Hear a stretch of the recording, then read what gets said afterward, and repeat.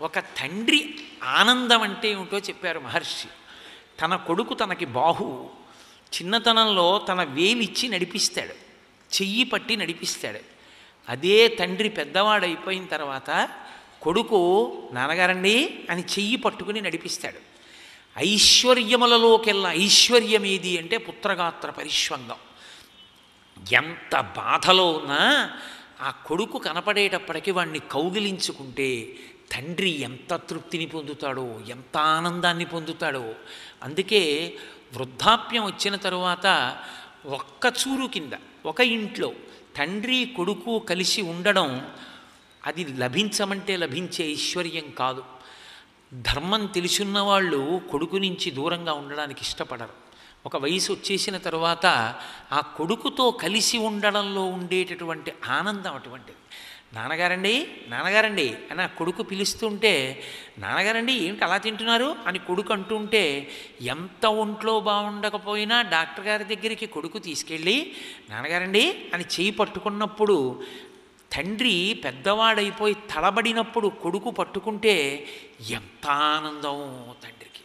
ఆఖరికి ప్రాణోత్క్రమణం అయిపోతున్నప్పుడు కూడా ఆ కొడుకు కనపడితే వాడి తొడ మీద తల పెట్టుకుని ఆఖరి ఊపిరి విడిచిపెట్టేస్తుంటే ఊపిరి అందక కొట్టుకుంటున్నప్పుడు కూడా ఆ కొడుకు యొక్క తొడ స్పర్శ ఎంత గొప్పదో. నాకు తెలుసు ఒక తల్లి రాత్రి రెండు గంటలకి తను చనిపోతున్నానన్నది తెలిస్తే కొడుకు లేచిపోతాడేమోనని భయంతో కొడుకు గుండెల మీద తలపెట్టుకుని అంత బాధతో కూడా ఎక్కువ అరిస్తే కొడుకు లేచిపోతాడేమోనని కొడుకు గుండెల మీదే తలపెట్టుకుని ప్రాణం వదిలేసింది. అరగంట తర్వాత కొడుకు ఏమిటి అమ్మ ఇంకా లేవదని చూస్తే ఆవిడ ప్రాణోత్క్రమణం అయిపోయింది. కొడుకు చేతిలో వెళ్ళిపోవాలని తండ్రి అంత అలమటిస్తాడు. ఇన్ని ఉండనివ్వండి తండ్రికి తృణప్రాయం. ఆ కొడుకు కనపడనివ్వండి ఎంత సంతోషం.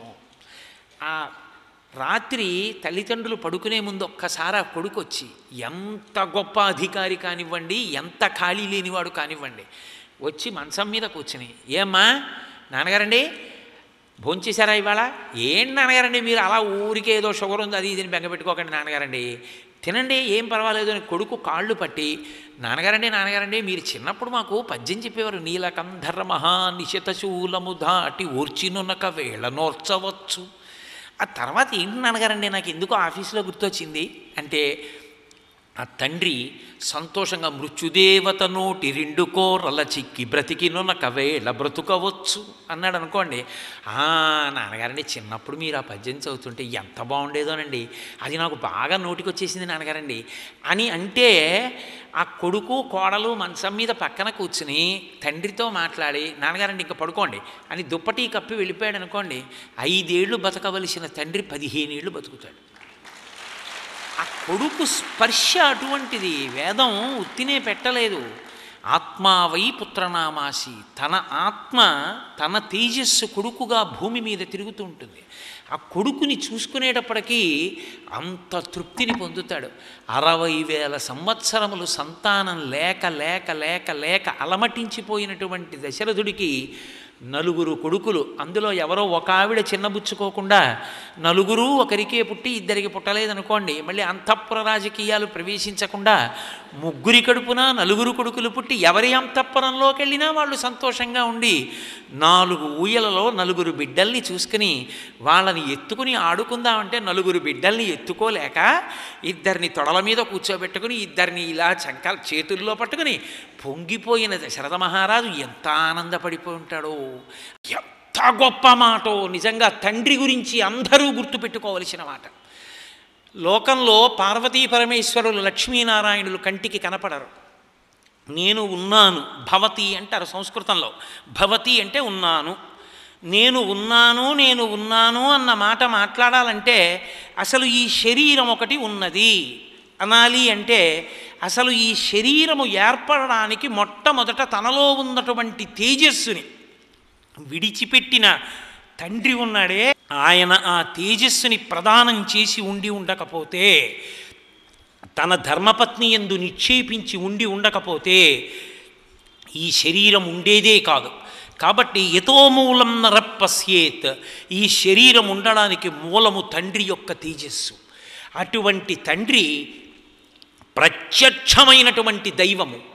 ఈ మాంసనేత్రమునకు దొరకనటువంటి పరమేశ్వరుడు ఈ మాంసనేత్రం చేత చూడబడడానికి ముట్టుకోవడానికి నమస్కరించడానికి పట్టుకోవడానికి వీలుగా దొరికినటువంటి ఈశ్వర స్వరూపమే తండ్రి. అటువంటి తండ్రి మాట కాదన్నవాడు అటువంటి తండ్రి మనసు కష్టపెట్టినవాడు ఒక కొడుకా అంటాడు. తండ్రి అంటే రామాయణం అంత గౌరవించింది. రామలక్ష్మణ భరత శత్రుఘ్నులంతా గౌరవించారు. తండ్రి తండ్రి కొడుకు కొడుకే. తండ్రి కొడుకుల అనుబంధం అంటే అంత గొప్పది. ఒక్క విషయం మీరు జ్ఞాపకం పెట్టుకోండి.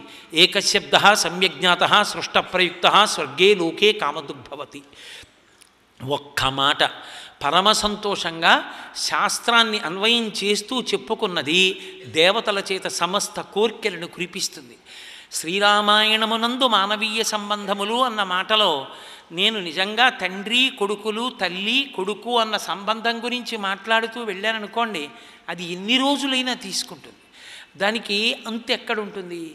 కానీ ఉన్న కాలాన్ని దృష్టిలో పెట్టుకుని అందులో కొంత భాగాన్ని మీకు వడ్డించేటటువంటి ప్రయత్నం చెయ్యడానికి చేసిన ప్రసంగమే తప్ప నేను నిజంగా తండ్రి కొడుకుల యొక్క అనుబంధాన్ని గురించి పరిపూర్ణమైనటువంటి ప్రవచనం చేశానని మీరు అనుకోవద్దు.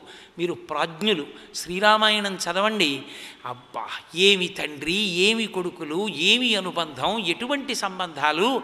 ఈ ధర్మం చేత కదా పురుషుడు పురుషోత్తముడు అవుతాడు. తండ్రి అందుకే రాముడు అన్నాడు దశరథుడు వస్తున్నాడయా మన నాన్నగారు? సీతమ్మ తల్లిని తీసుకెళ్ళడానికి వస్తున్నాడు ఎందుకంత బాధపడుతున్నావు? అన్నాడు. అప్పుడు లక్ష్మణస్వామి మాట మార్చి అవునన్నయ్య మన తండ్రి దశరథ మహారాజు గారే వస్తున్నారేమో వదిన్ని తీసుకెళ్ళడానికి వస్తున్నారేమో నిన్ను తీసుకెళ్ళి రాజ్యం ఇవ్వాలనుకుంటున్నారేమో అని మెల్లిగా దిగొచ్చి నిలబడ్డాడు. మీరు గమనించండి సాధారణంగా లోకంలో ఉండే పెద్ద పొరపాటు ఏమిటో తెలుసా? నచ్చజెప్పినన్నాళ్ళు బతిమాలినన్నాళ్ళు బామాలినన్నాళ్ళు మంచి చేసినన్నాళ్ళు అన్నగారు. అన్నగారు ఒక మాట అన్నాడు అనుకోండి ఎందుకు అన్నగారు ఆ మాట అన్నాడని విచారణ చెయ్యడు తమ్ముడు. అన్నగారిది తప్పని నిర్ధారించి తీర్పు చెప్పి అన్నకి దూరంగా బతకడానికి ఇష్టపడతాడు. ధూర్తతనం. తనకన్నా ముందు పుట్టిన అన్నగారు నిజంగా తప్పు లేకపోయినా నింద చేసిన ఆశీర్వచనం అవుతుంది. అందుకే శాస్త్రం స్పష్టంగా చెప్పింది తమ్ముడు అన్నని నింద చేస్తే అన్న కాళ్ళ మీద పడి క్షమార్పణ చెప్పాలి. అన్న పొరపాటున తమ్ముడినంటే తమ్ముడికి క్షమార్పణ చెప్పక్కర్లేదు. పరమేశ్వరుడికి చెప్పుకుంటే చాలు. తనకన్నా చిన్నవాడు.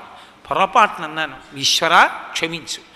అంటే దాని ఉద్దేశ్యం అసలు ఎప్పుడూ అన్నగారు మార్గం తప్పి తమ్ముణ్ణి ఏదైనా అన్నా తండ్రి అన్నట్టు ఈశ్వరుడు అన్నట్టు ఆశీర్వచనం అవుతుంది తప్ప అది నిందావాక్యం కాదు.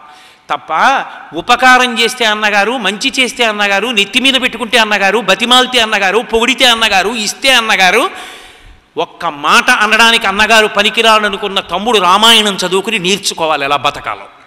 కాబట్టి అన్నని గౌరవించడం అన్న మాటకు అర్థం ఏమిటంటే అన్న తమ్ముణ్ణి కాకపోతే స్వతంత్రంగా ఎవరిని అంటాడు? తమ్ముడు కడుపున పుట్టిన కొడుకు లాంటివాడు. కాబట్టి కొన్ని కొన్ని సందర్భాల్లో తండ్రి గతించిపోతే అన్న తమ్ముడికి స్నాతకం చేస్తాడు అన్న తమ్ముడికి ఉపదేశం చేస్తాడు గురువుతో సమానం.